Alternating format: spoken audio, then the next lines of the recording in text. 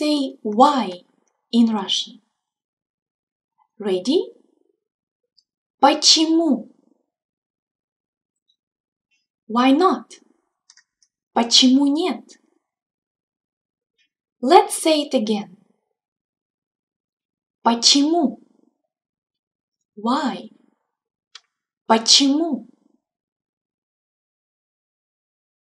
Oh, see you in our Russian lessons at RussianTutora.com. And remember, language can change your life.